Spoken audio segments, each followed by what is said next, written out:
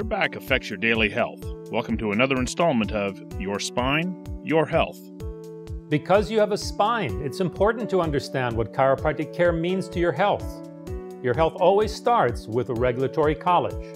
In this case, the College of Chiropractors of BC serves to ensure you receive the appropriate diagnosis and care from a qualified chiropractic doctor today and tomorrow.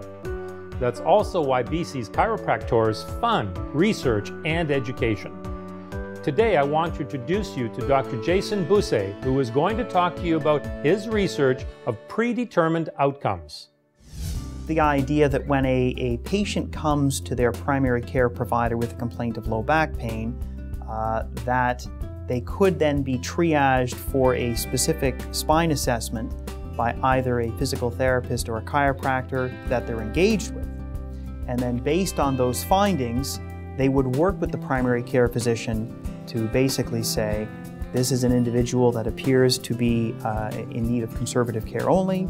Here's an individual that seems to require advanced imaging. Here's an individual that seems to be a candidate for surgical assessment. Dr. Busse is adding to the research, explaining how chiropractic care can help improve the effectiveness of healthcare in Canada. Part of this investigation means addressing inefficiency in low back pain diagnosis and the overuse of advanced imaging equipment. Uh, primary care physicians are not always confident in their ability to assess uh, and diagnose low back pain, which tends to be a very challenging condition. If there's concerns about confidence, then it can be easy to use advanced imaging as sort of part of your assessment criteria as opposed to a way to rule in or rule out a diagnosis. The average wait for a surgical assessment in Canada is six months. If you are then scheduled for surgery, you could be looking at another six month wait. During this waiting period, many patients do not seek a second opinion from a chiropractic doctor.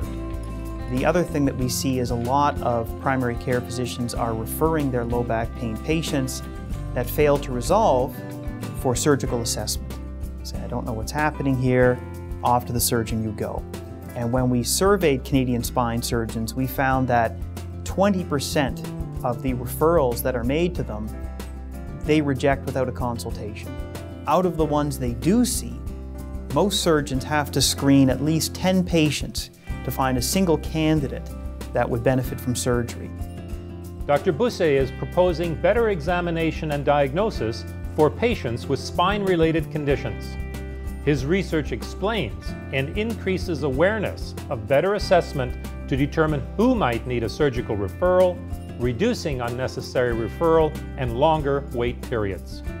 As you can see, it's not just about what we can do for you today. We're working to build a better tomorrow with better health outcomes for you. The College of Chiropractors of BC sets the standards for safety, outcomes, and your informed consent.